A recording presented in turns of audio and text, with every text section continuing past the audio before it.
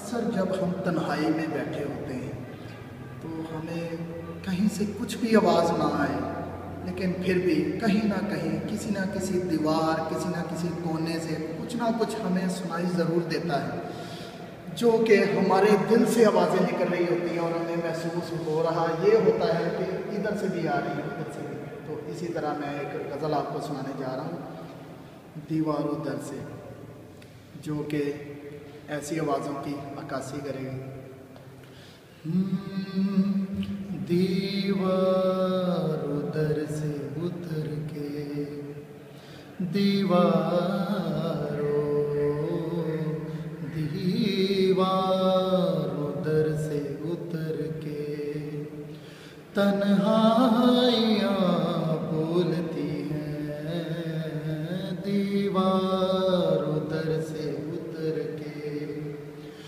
तन्हाइयाँ बोलती हैं। कोई नहीं बोलता जब बोलती हैं। दीवार उधर से उतर के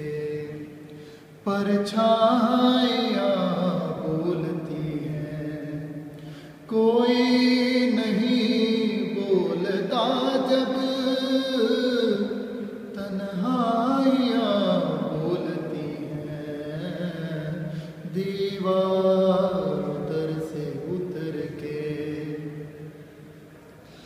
परदेश के रास्तों में रुकते कहाँ हैं मुसाफिर? परदेश के रास्तों में रुकते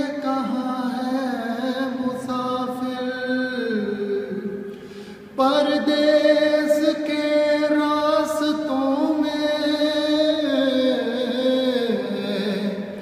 रुकते कहाँ है मुसाफिर, हर चीज़ कहती इख्तसार हर चीज़ कहती इख्तसार पुरवा